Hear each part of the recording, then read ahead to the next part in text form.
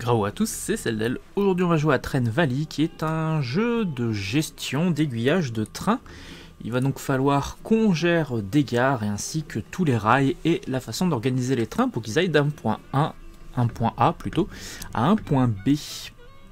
Du coup je vous propose de démarrer avec une mission qui est au tout début juste pour voir un petit peu le concept du jeu.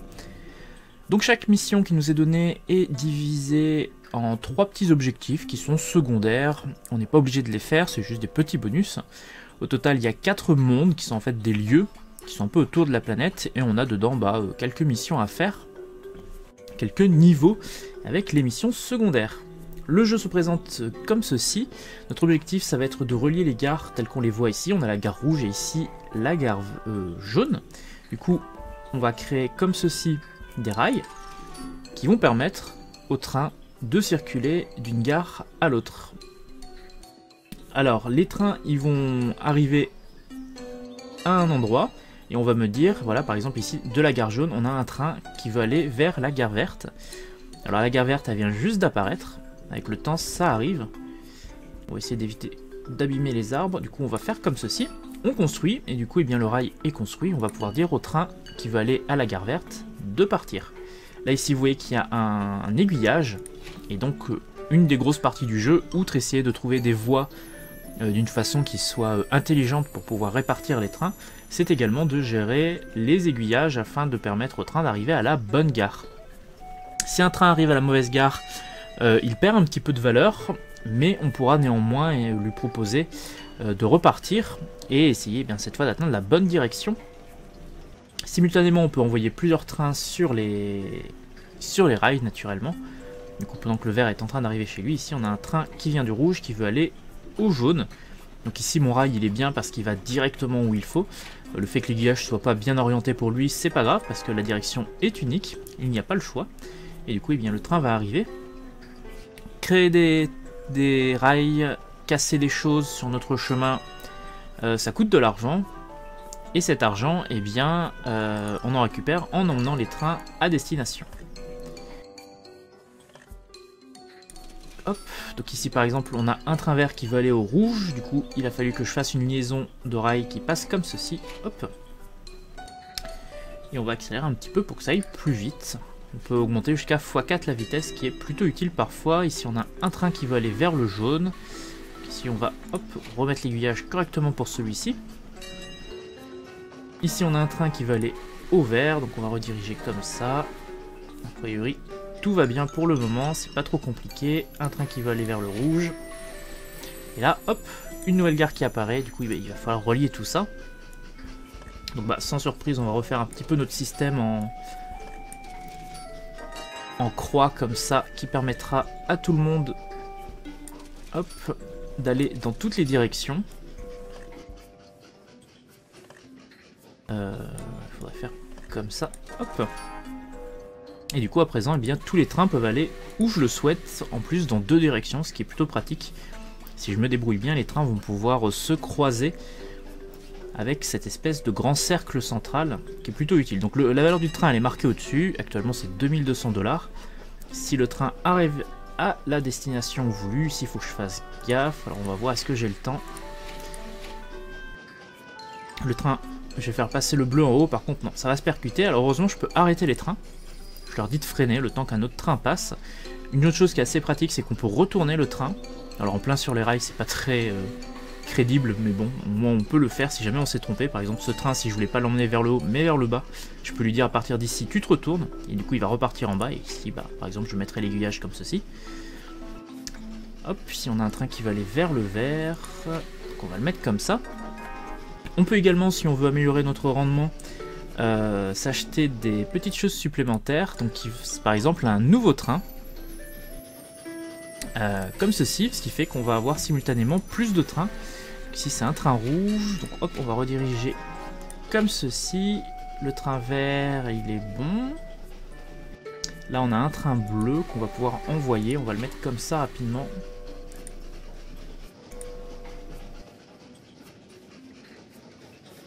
Le train bleu et le train rouge vont se croiser à un moment, du coup je vais arrêter. Et le train vert, j'ai fait une erreur. Alors du coup, hop, plutôt de l'envoyer à un endroit qu'il faut pas, je vais l'envoyer dans la gare bleue. Et de la gare bleue, je vais lui faire faire un demi-tour pour retourner ici. Par contre, il va perdre un peu de valeur. Là, il va aller de 2700. Mauvaise gare, du coup, hop, il devrait repartir dans l'autre sens. Voilà.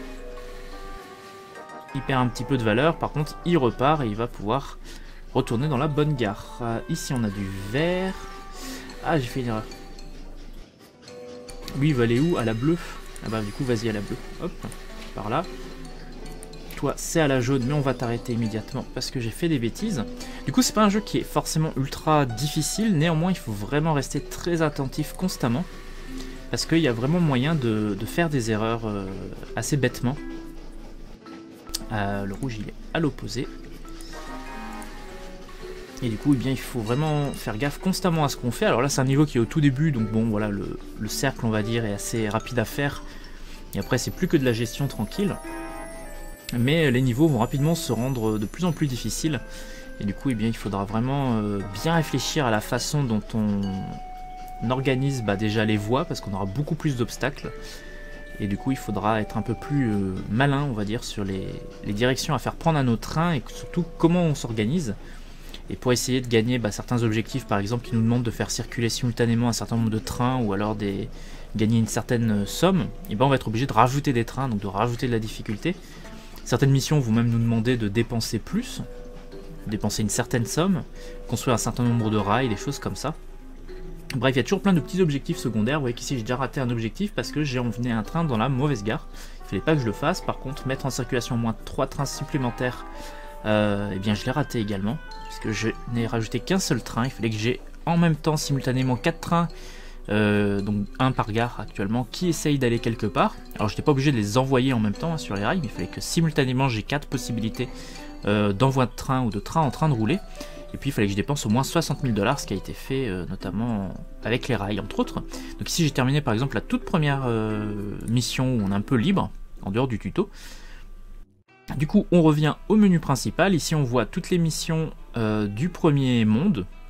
Mais vous voyez qu'ici, on a euh, également euh, tout ce qui concerne l'Amérique. Ici, c'est la Russie et ici, c'est le Japon.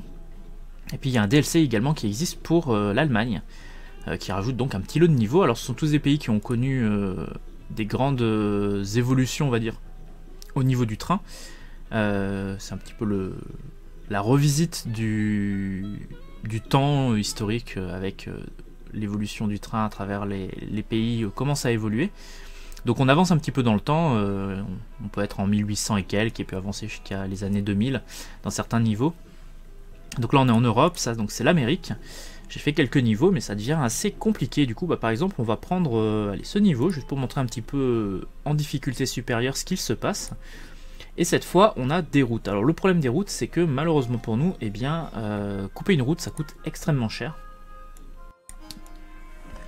Et du coup, eh bien, si on peut essayer de limiter le nombre de fois qu'on fait ça et de faire les choses de façon un peu intelligente, ça peut être pas mal.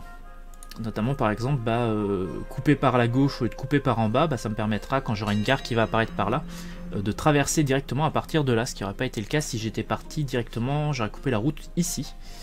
Donc euh, faire attention, ici on peut couper comme ça ou comme ça, ça permettra d'aller aux deux endroits. Par contre, non, toutes les, toutes les gares peuvent communiquer pour le moment. J'ai les trois gares à droite. Alors on va accélérer dans un premier temps. Ici on a un train qui va aller dans le rouge, du coup on va directement pouvoir l'envoyer, il devrait être bon.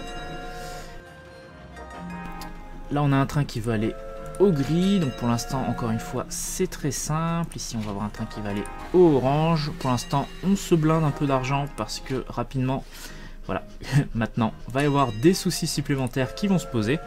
Les rails coûtent assez cher à créer. Donc on va, vous voyez là, 10 000 déjà. On va faire ça comme ça. Alors je sais pas le rail où il tourne là, dans quelle direction. Euh, non, je pense que je me suis planté dans la façon de faire mon rail.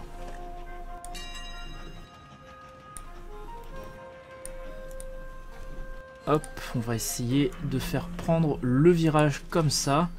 Et de faire prendre le virage... Ce serait bien de rejoindre ici, mais ça va coûter cher. Ça coûte 4000 dollars, je les ai pas. Euh, alors le gris, je peux le faire atteindre. Faut que je fasse attention, on perd de l'argent hein, régulièrement. On a une taxe annuelle de 1500 dollars. Faut pas faire banqueroute, sinon on a perdu. Là, celui-là, il aura le temps d'aller au... Ah non, mince, il va aller au jaune. Ah zut, le jaune, je peux pas encore. Alors attends, je vais te dire de patienter. Lui, on va attendre qu'il arrive au gris qui est en bas. C'est lui qui peut aller au jaune. jaune, il peut y aller. Lui, il veut aller au rouge. Voilà, c'est le bordel. Alors lui, on va l'envoyer parce qu'il veut aller au orange. Donc ça, je peux. Ça va me faire 5500 dollars. Il suit 10 000. Alors les trains qui coûtent très cher, en général, c'est des trains qui sont extrêmement longs. Donc ils sont plutôt euh, pénibles à diriger.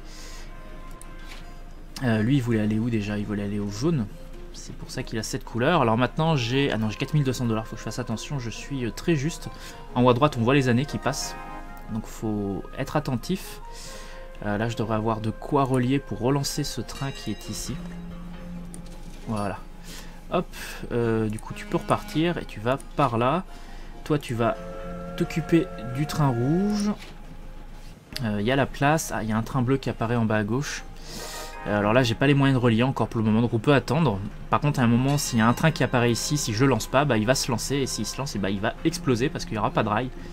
Et malheureusement, bah, ça fait perdre de l'argent. Il faut faire attention. Au passage, vous voyez qu'il y a ici un petit tunnel qui vient d'apparaître.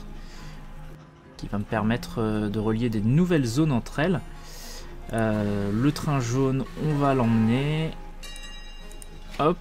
Et puis ici, il va falloir que, euh, d'une façon ou d'une autre, je relie. Euh, hop. Ainsi qu'ici. Alors, le train jaune, je vais l'envoyer. Le train qui va aller chez le jaune. Le train qui va aller au gris, ici, j'ai le temps de l'envoyer. Le train qui va aller au bleu, j'ai pas encore les moyens de l'envoyer pour le moment. Oh, un à la fois, messieurs. Du coup, on laisse passer le petit. Et le grand se lance. Si on attend trop de lancer les trains, ils finissent par se lancer tout seuls. Et ça, ça peut un peu souci. Donc il faut essayer de bien, bien s'occuper de tout le monde quand on le peut. Euh, alors, est-ce que j'ai de l'argent moyennement hein Donc, Ici, je vais faire comme ça. Le train qui va aller orange, je vais le faire passer par là. Hop, faut faire, faire attention ici, il y a un petit aiguillage qui est caché. Tac, tac, tac. Ici, ça ira là. Euh, le train qui va aller vers le gris, je peux à nouveau l'envoyer. Là, il y a un autre train qui va aller vers le gris, mais je vais attendre un peu que celui-là passe avant. pour l'instant, ça devrait, ça devrait aller. Je devrais pas avoir de soucis. Non, celui-là va passer à temps. Par contre, pour le orange... Euh, ah non, le gris, il faut d'abord que je fasse gaffe. Comme ça, et dès que lui est passé, ensuite, je change l'aiguillage pour l'orange qui passe derrière, vite. Pas que je me trompe, des trains qui valent beaucoup d'argent. Hop. Voilà, hop, et on change juste à temps. Euh, le jaune, on va l'envoyer comme ceci. Ici, on a un train qui va aller vers le rouge. Du coup, on va hop, le mettre comme ça. C'est pas trop compliqué. Ici, avoir une deuxième route, je me refais un peu d'argent. Du coup, bah, je vais en profiter. Euh... Alors est-ce que je coupe comme ça? Ça coûte cher mais ouais ça pourrait. Et puis ici je coupe dans l'autre sens, comme ceci, comme ça j'ai... On retrouve mon rond que j'avais tout à l'heure. Hop. Et ça va me permettre de gérer un peu mieux les choses. Hop, ça comme ça pour le, pour le bleu. Le rouge, il va pouvoir passer par ici. Le gris, on va pouvoir le faire passer par là. Ça dépendra qui arrive en premier. Le bleu, je vais également pouvoir l'envoyer ah non, j'ai fait n'importe quoi, je me suis trompé. Et eh ben, c'est pas grave, il va repartir pour le bleu, le gris, donc lui il est bon là. Tac tac tac, oui il est bon. Celui qui veut aller au rouge, il va être bon. Là il faut juste le bleu, je le redirige par là. Euh, du coup lui, le gris il est bon, le rouge il va être bon et le bleu il va être bon. Maintenant en parallèle on lance le orange. Non c'est pas bon. Aïe. Et ça voilà, c'est l'erreur, j'ai joué trop vite. J'ai essayé de faire plein de choses, donc c'est pas terrible. Du coup il faut tout reconstruire. Ouf, de justesse. Plus le rouge, je sais pas pourquoi il est pas allé au bon endroit, j'étais tellement occupé. Bref, vous voyez, ça peut rapidement devenir un peu la cata, si on fait pas attention. Donc il faut bien, bien, bien tout regarder constamment. Donc là on a un certain nombre de trains qu'on va devoir mener à bien, ou détruire en tout cas, qu'on va devoir gérer. Et à terme, eh bien, on verra ce que ça donne. Là, on a deux trains qui vont vers le rouge. Lui, il est là, il est bon. Là, il sera bon. Faire attention qu'il se percute pas malgré tout. Le train bleu, on va pouvoir ici le lancer. Par contre, on va dire qu'il s'arrête. Hop, euh, tac, tac, tac. Ah mince, ici, j'ai mal reconstruit. Hop, voilà. Euh, donc c'est ici, hop, pour le train bleu, tac, tac, tac, là c'est bon, toi tu peux repartir. Là il y a un, train gris qui doit venir, c'est pas évident les trains gris, parce qu'il c'est à l'opposé complètement pour lui. On va réaccélérer un petit peu pour terminer. Hop, on tourne, tac tac tac. Ici ce sera bon. Le train orange, on peut le lancer. Il sera là. Et il ne reste plus qu'un train bleu qui sera ici. À mesure que vous voyez que les villes évoluent un petit peu, à mesure que je leur amène des choses. Et du coup, bah, a priori, il n'y a plus de train. Donc c'est que ça va être la toute fin du niveau. Et du coup, hop. Voilà. On a tout terminé. Du coup voilà, la difficulté augmente un peu, ça augmente encore plus après, d'après ce que j'ai vu, j'ai pas, je suis pas allé extrêmement loin dans le jeu.